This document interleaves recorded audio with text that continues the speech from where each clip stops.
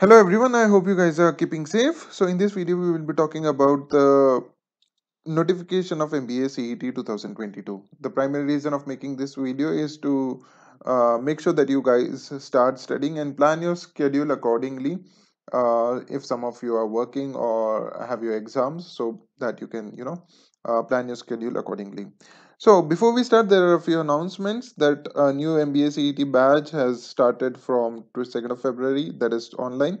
You can join the Telegram group. The link is given in the description. You can also watch the MBA CET 2021 marathon playlist. The link is again given description. These are the, the these are 42 sessions that we took live on YouTube last year. Uh, you can download the CrossQ app. You will get ample free test on this app, uh, topic test and concept test as well. You can subscribe to the channel and for any queries, you can directly contact me on this number. This is my WhatsApp number. So please make sure that you drop a message and then call. Okay, moving ahead.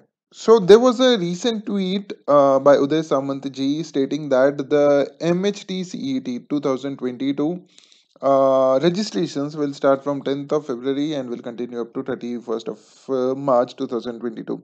Before you guys confuse get confused, let me first state that this is MHT CET that is basically for engineering. Okay, and uh, on the very same note, he had retweeted at the bottom and said that uh, the CETs for other graduate courses and the post graduation courses will be announced very soon. So on this note we can expect that the mba cet notification or the mba cet registrations are expected to start soon because the engineering registrations have already been announced that are from 10th february to 31st of march 2022 on the same lines we expect mba cet registrations that will be announced very soon so again uh, as they have given a very wide window for uh, you know filling up the engineering forms we expect the same for mba cet not such a wide window but then anyways they would start by i believe by february end.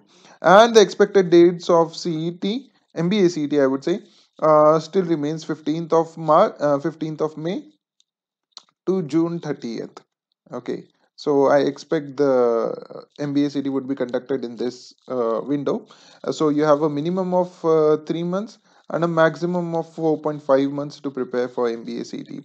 So this is the right time to start for start your preparation before it actually gets too late. Even if you start now, you can still expect a minimum of 95 to 99 percentile depending on the preparation level uh, at this point of time. So i wish you all the best. Hope you start your preparation right away. Thank you so much for watching this video. I'll see you again. Till then take care